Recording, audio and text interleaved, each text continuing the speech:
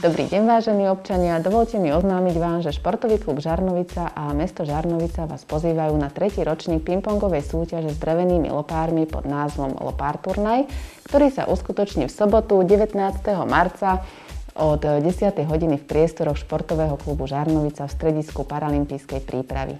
Prihlásiť sa môžete v deň konania súťaže v čase od 19.15, pričom losovanie dvojhier sa uskutoční o 3 na 10. Lopáre na hru poskytne športový klub Žarnovica.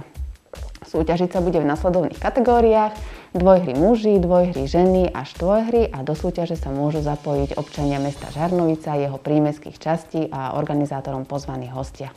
Viac informácií a propozície súťaže nájdete na webovom sídle mesta www.žarnovica.sk a na facebookovom profile OKMŠ Žarnovica alebo môžete v prípade otázok priamo kontaktovať pána Luboša Dobrodku na mobilnom čísle 0908 912 217. V mene organizátorov vás všetkých srdečne pozývam na túto netradičnú súťaž.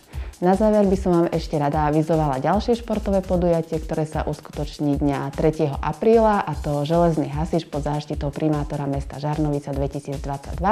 Bližšie informácie vám poskytnem na budúce. Želám pekný deň.